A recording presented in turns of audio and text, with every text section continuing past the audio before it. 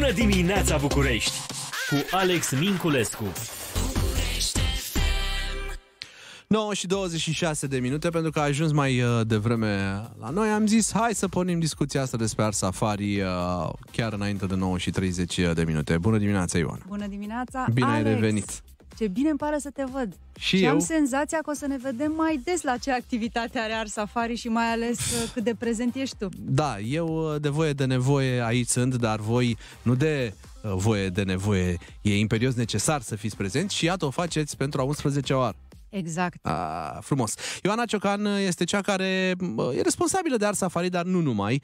Uh, Până la urmă, să ți se spune eminența cenușie Ars Safari. Aș prefera... Tu ești uh, general manager sau cum se... Emine, eminența roz mai degrabă, Roz? că e culoarea mea preferată. A, drăguț, frumos.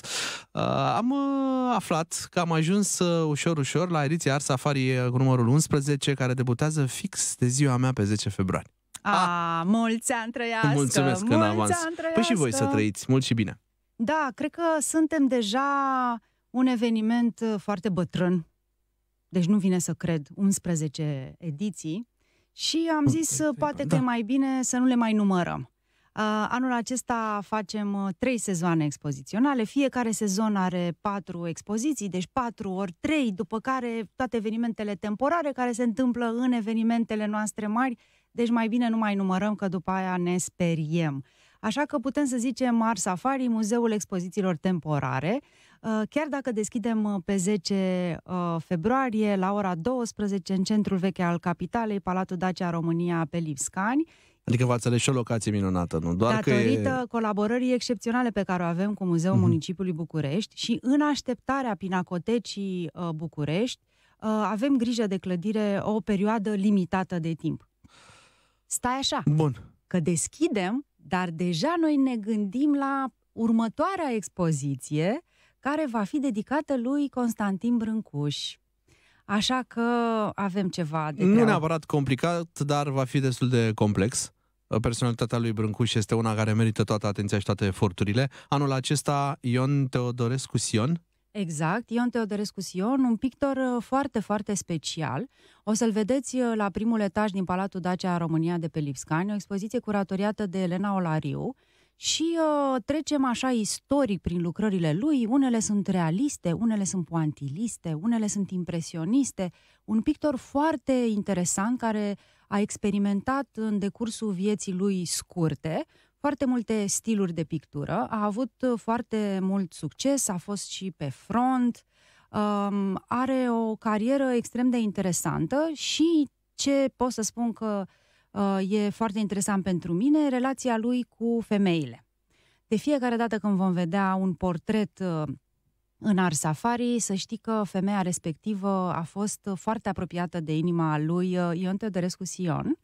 Uh, și uh, aceste portrete dau de fapt viață și uh, ne povestesc și despre sufletul lui. Pentru că unele portrete sunt uh, foarte întunecate, unele sunt foarte vesele. E în foarte funcție de interesant. starea de spirit. Exact, exact. Și mai ales de relația pe care o Pe avea care o cu, aveau, da. cu doamna respectivă. E foarte interesant, vorbește mult despre sufletul lui. Uh, și uh, când se termină expoziția Ion Teodorescu Sion, intrăm din Ion Teodorescu Sion în Spania, niște lucrări absolut uh, fenomenale din secolul XIX. Uh, expoziția curatoriată de Elena Alonso se numește uh, Mari maestri ai picturii spaniole secolul XIX și începutul impresionismului. Noi tot timpul vorbim de impresionism francez, dar a existat impresionism și în uh, Franța, a existat și în Belgia, a existat și în România. Uh, și uh, e, foarte, e foarte interesant că uh, chiar dacă afară este frig și urât și înghețăm, când intrăm în sălile dedicate Spaniei, Bruzni se face cald pentru că acolo avem soare, Marea Mediterană, toată lumea Ați e adaptat, veselă. uh, Exact, și spațiul. exact, exact. Oricum, până pe 14 mai se va face frumos și afară. Ne putem uh, bucura și în, uh, în acest caz de vremea bună de la noi. N-aș vrea să mergem mai departe cu discuția, fără să ne întoarcem un pic la tablourile lui Ion Teodorescu Sion, încercând să fiu cât se pare de cenci de delicat. Sunt multe tablouri? Sunt multe tablouri. Aha, deci să înțeleg sunt, că sunt, sunt. a iubit multe la viața lui. Sunt, sunt cam 150, ca să zic așa.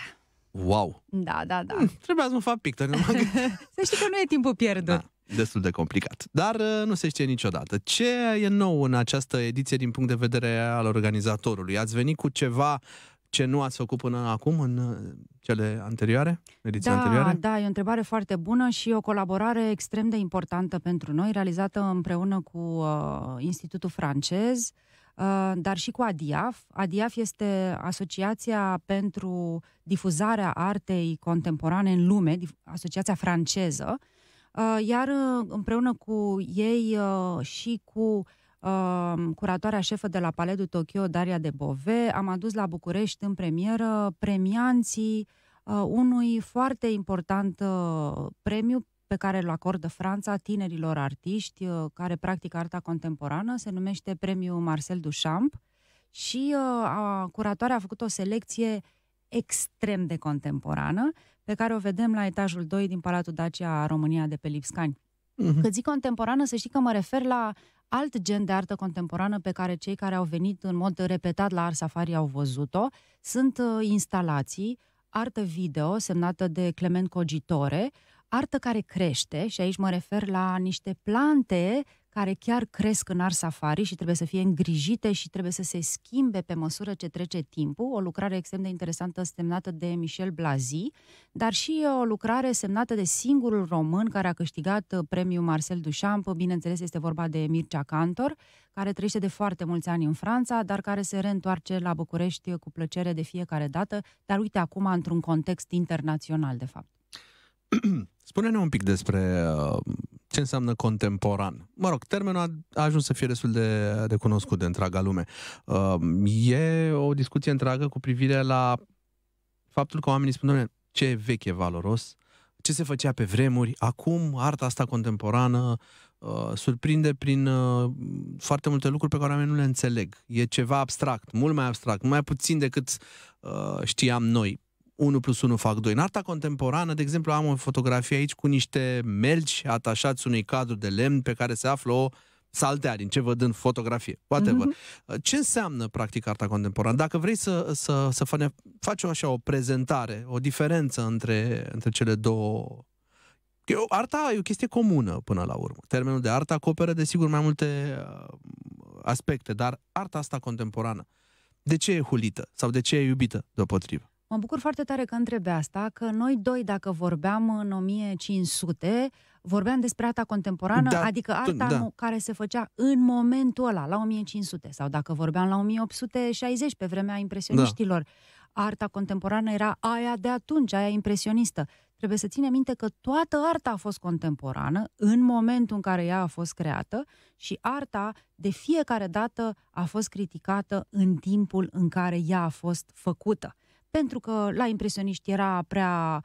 uh, prea multă pastă, prea multe culori puse unele peste altele, pe vremea fofismului că de ce uh, personajele au fața albastră, iar acum uh, de ce avem niște uh, melci uh, pe o structură de lemn. Și am să explic puțin lucrarea, chiar dacă suntem la radio. Imaginați, imaginați-vă, vă rog frumos, o casă părăsită, da, părăsită.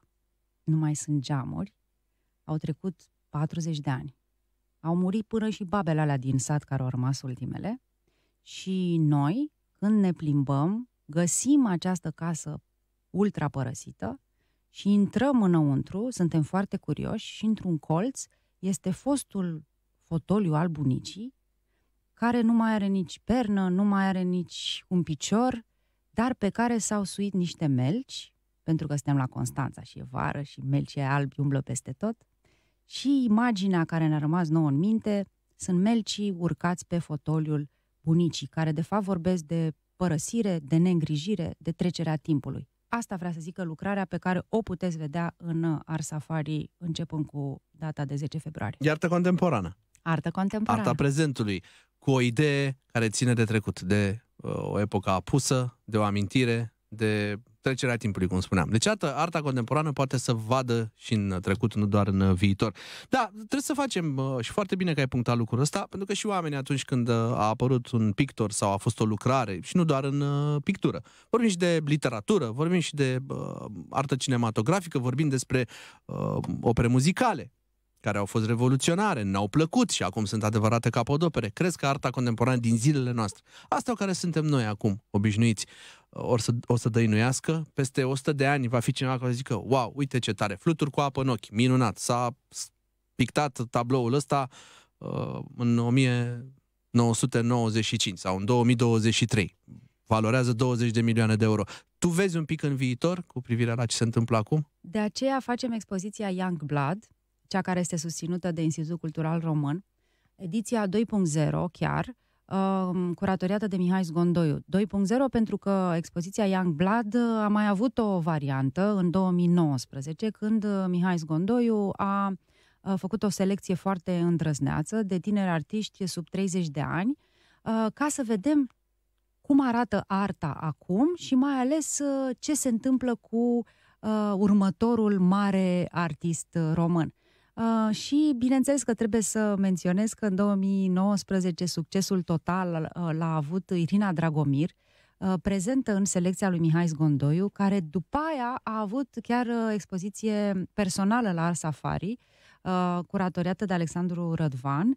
Uh, deci eu zic să fiți cu ochii pe ce este nou în artă Young Blood 2.0 ca să descoperiți voi Uh, care credeți că va fi următorul superstar al artei contemporane, următorul Irina Dragomir? Foarte, foarte tare. Uite că, până la urmă, întrebarea mea a făcut uh, legătura și cu acest moment pe care vreau să-l punem în uh, discuție.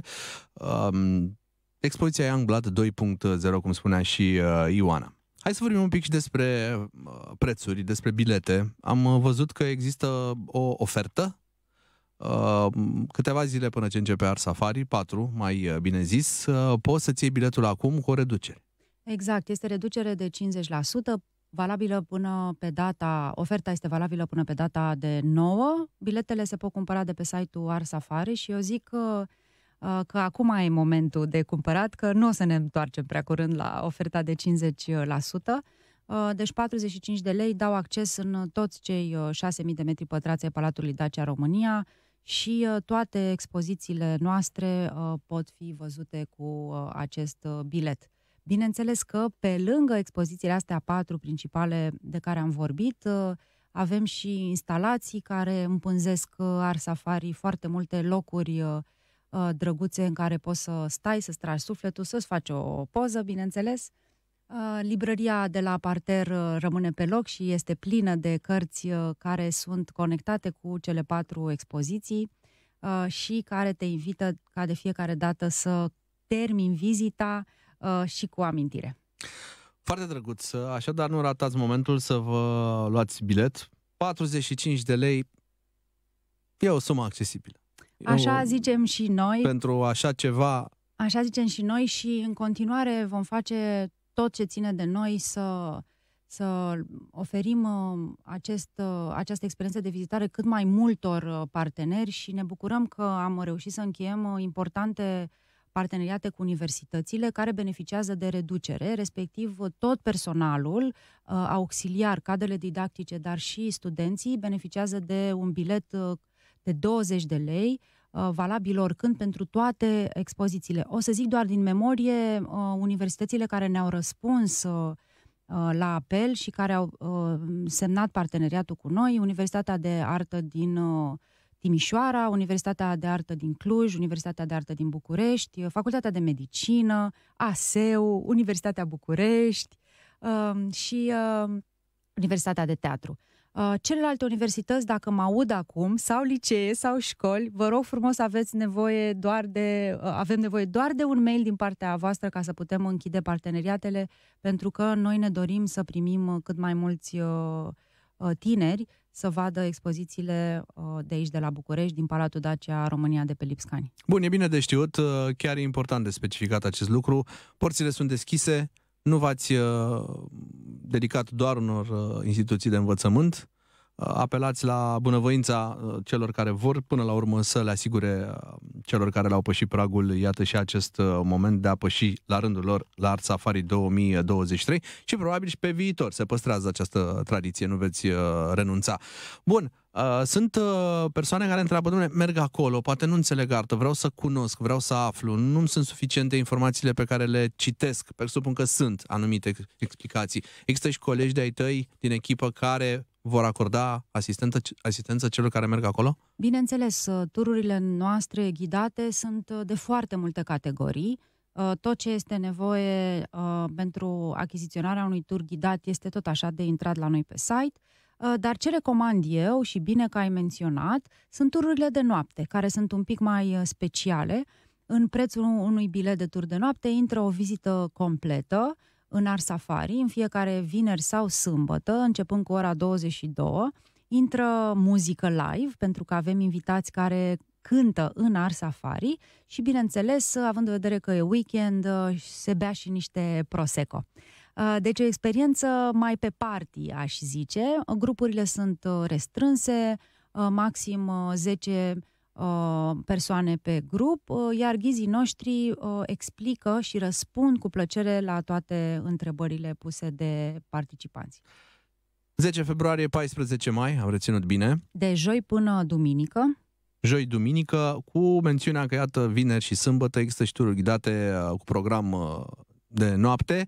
Dacă nu aveți chef de uh, un club sau nu aveți chef să vă rupeți pingelele pe undeva, puteți să, dacă îmi permiți să forțăm așa nota, să ne rupem creierul în sensul bun, primind informație și văzând lucruri frumoase și pe parcursul unui weekend cu bule, cu Prosecco. Bun, ce mai faci în rest? Hai, spune-ne un pic și ce înseamnă viața ta dincolo de Art Safari, pentru că știu că ai mai multe activități în care ești implicat. În rest, uh, am terminat toate examenele cu studenții uh, mei de la Universitatea București. Uh, am, am acceptat cu greu că... Ești un profesor univer... nu, nu sunt deloc, cred, nu știu, sper. Sunt, dacă mă ascultă cineva. Uh, sper, uh, am uh, cu, cu, cu foarte mare tristețe am acceptat că trebuie să trecem din nou în online, pentru că Universitatea București intră în renovare, dar mă bucur, evident, că se renovează clădirea istorică a Universității București. Nu mă bucur că suntem în online, dar uh, o să uh, încerc uh, cu studenții să vizităm cât mai multe muzee și cât mai multe galerii, ca să învețe despre istoria artei uh, acolo unde istoria artei uh, se întâmplă, respectiv uh, la muzeu, la galerie sau de ce nu la Art Safari. Când vine vorba de renovare, ce înseamnă renovare? Inter- în interior sau și pe exterior? Totul, Tot. și interior și exterior, uh, toată clădirea aia frumoasă și mare pe care cu toții o știm și lângă care ne-am dat nenumărate întâlniri, ne vedem la ceas la universitate sau la universitate, intră într-o uh, bine meritată renovare. În afară de asta, uh, așa cum, uh, cum știi, pregătim Bienala de la Veneția, Bienala de Artă și mă bucur că, în calitate de comisar al României pentru Bienala de la Veneția, încerc să încep lucrurile cât mai din timp, în așa fel încât România să aibă ca de fiecare dată o reprezentare absolut uh, fenomenală în 2024 pentru Bienala de la Veneția. Treabă multă și uh, acolo știam am vorbit la ultima noastră întâlnire despre ce se întâmplă, urma să, să cer mai multe amănunte. O să vorbim la momentul respectiv când ne apropiem de uh, fix de, de acea perioadă. Vreau să te mai întreb în legătură cu Comitetul de Înființare și Organizare al Muzeului, Muzeului Ororilor. Ești membru al Consiliului Științific al Muzeului Național Cotroceni și al acestui comitet. Am uh, avut un subiect pe care l-am abordat în legătură cu uh, Muzeul Ororilor. A fost așa o temă care a dus discuția acolo. Ce înseamnă acest uh, muzeu, dacă poți să ne dai mai multe amănunte? Da, bineînțeles. Înainte să zic ce înseamnă acest muzeu, trebuie să zic de Muzeul Cotroceni, pentru că acolo am unde să trimit oamenii. Pentru Muzeul Cotroceni, membrii Comitetului Științific aprobă și revizuiesc propunerile expoziționale. Poate că e un muzeu uh, pe care, uh, la care nu ne gândim imediat în weekend când vrem să, să mergem undeva, dar eu îl recomand. Uh, are o procedură de intrare un pic mai dificilă, trebuie să trimiți un mail, să buletin, anana, fiind la Cotroceni e un pic mai complicat, dar eu chiar îl recomand. Este o bijuterie de muzeu care merită cel puțin o vizită pe an din partea noastră.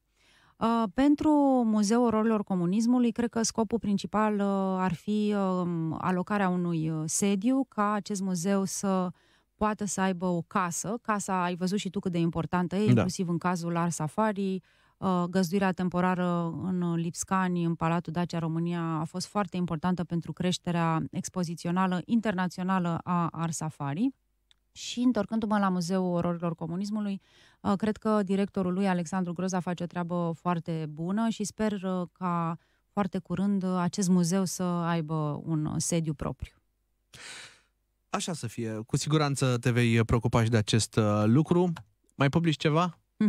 Ești în pregătiri? Da. Mai ai timp de și unde pentru asta? știi, vreau să E, știu. Uite așa, m-am gândit că poate cine știe după experiențele anterioare nu uh, rămâi uh, doar cu da, acele da. proiecte, mergi mai departe. Până, până cartea uh, mea numită Inventar o să, o să vadă lumina tiparului, că o să mai dureze puțin, uh, recomand uh, la, în toate librările Humanitas și Cărturești cartea Sculpturi din întâmplare, apărută la editura Humanitas, care face un inventar, un alt fel de inventar, un inventar al sculpturilor din întâmplare din București. Toți am văzut bețe, găleți de vopsea, cu crengi așezate pe post de aici e locul meu de parcare. Am făcut un mic inventar din 2014 până în 2021 al acestor uh, sculpturi uh, extrem de surprinzătoare și l-am publicat.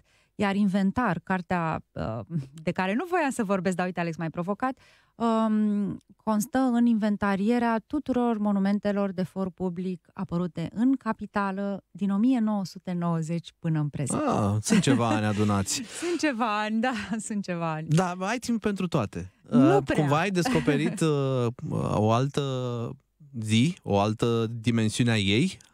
Uh, nu Funcționezi prea, nu după, prea. bă, nu știu, ora jupiteriană uh, sau spațială? E Pentru- mai mult ora safariană, dar să știi că mi-ar plăcea să fac mult mai mult decât fac. Tot timpul am senzația că nu, nu, Nu e, faci suficient. Că nu fac suficient.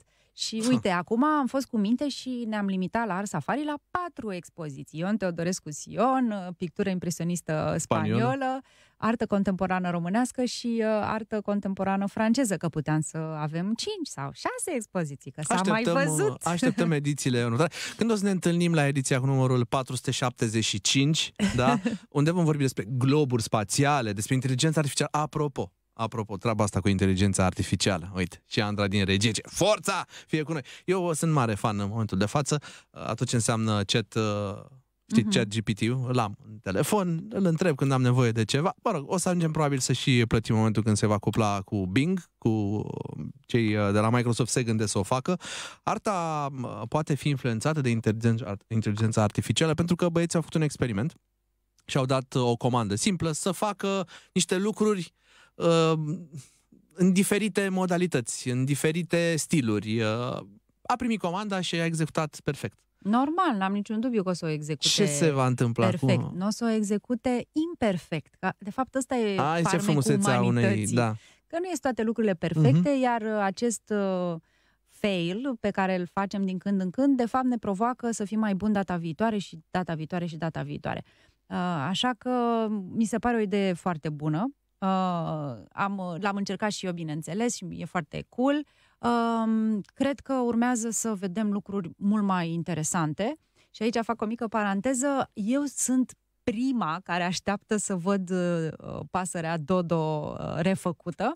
Uh, înțeleg că grantul ăla de 2 milioane de Mhm. dolari pentru uh, colectarea ADN-ului de la toate uh, păsările Dodo care există în toate colecțiile de istorie naturală, uh, vor, uh, vor face un salt în Jurassic Park și uh, curând o să vedem o pasărea Dodo uh, din nou uh, clipind uh, la noi uh, în, uh, în viață. În peisajul În nostru peisaj, cotidian, da. da.